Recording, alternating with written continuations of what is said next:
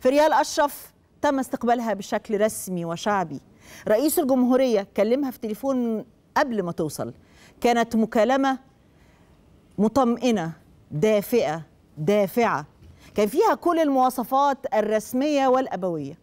وصلت إلى مطار القاهرة وهناك تم استقبالها في صالة كبار الزوار. مع وجود حشود تستقبلها كرياضية آتية محملة بالذهب.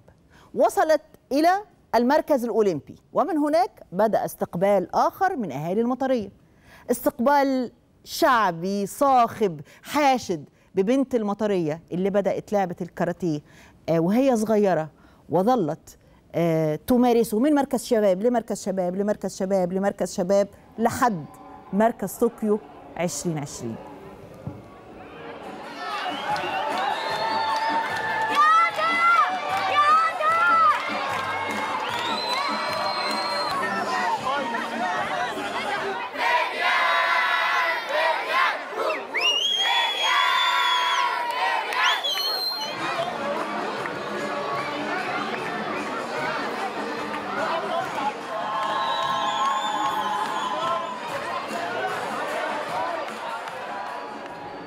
فريال أشرف بنت المطرية 21 سنة كلية صيدلة آه، نجاح وتفوق.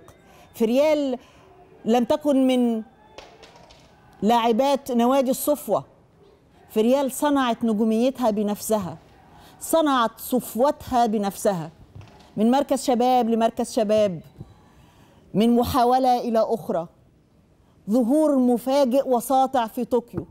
أعقبه احتفالات شعبية إنسانية أسرية في منطقتها في المطرية.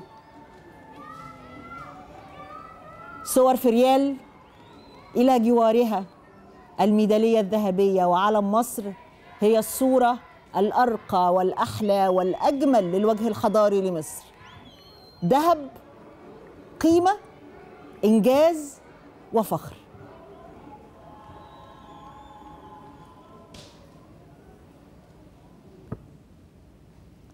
وتستكمل الرحلة بعد الاستقبال الرسمي والشعبي الاستقبال الإعلامي بعد ساعات من وصولها من طوكيو إلى مدينة الإنتاج الإعلامي في الاستوديو هنا. فتاة الذهب فريال الذهب فريال أشرف عبد العزيز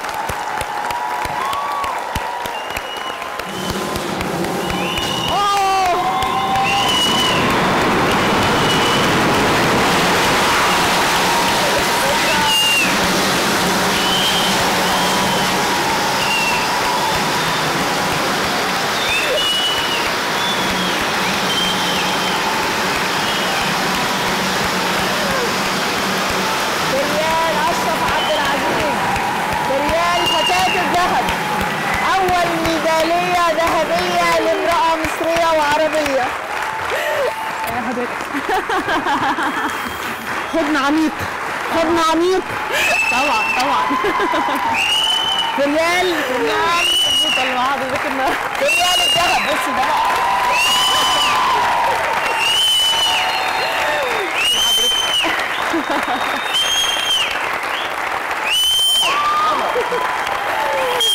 وريني يا بنتي دهب دهب دهب. دهب دي دهب دهب.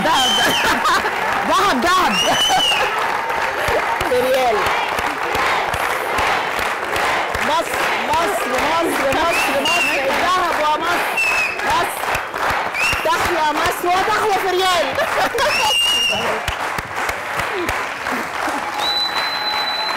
تحيا مصر وتحيا فريال طبعا تحيا مصر قبل فريال تحيا مصر وتحيا فريال وبنات مصر وولاد مصر. تحيا مصر حلوة حلوة حلوة صح؟ طبعا حلو حلو حقك والله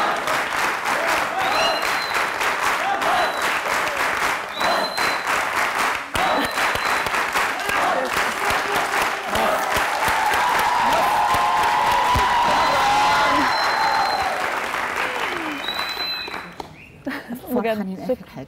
والله أنا اللي فرحانة وشكرا على الاستقبال الجميل ده. من ساعة ما جيت فعلا ومن ساعة ما وصلت مصر وأنا فرحانة جدا. كل يعني حسستوني فعلا بالإنجاز اللي أنا عملته.